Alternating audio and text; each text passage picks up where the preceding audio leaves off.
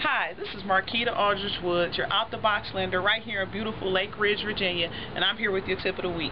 Now, typically I come with the tip about something to help you move forward, but this week's going to be a little different. I really have a confession to make.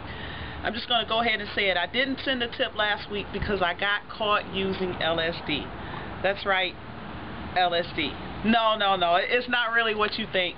The L actually stands for love. I love what I do. I love helping people. That means I love helping you. The S is for service. We want to give you all the service you need because we understand it's not about us. It's not about being the top producer. It's not about our numbers. It's all about you. If you're not satisfied, we're not satisfied. The D is for determination. You have to be determined in this market right now. There are a lot of different things going on, a lot of shysters out here, so you have to be determined determined to work with good individuals such as myself. So we're determined to make it happen for you. If you're looking to purchase, refinance, short sale, questions about loan modifications, whatever it is, we're here to serve you. So I'm going to go now. going to keep using some LSD.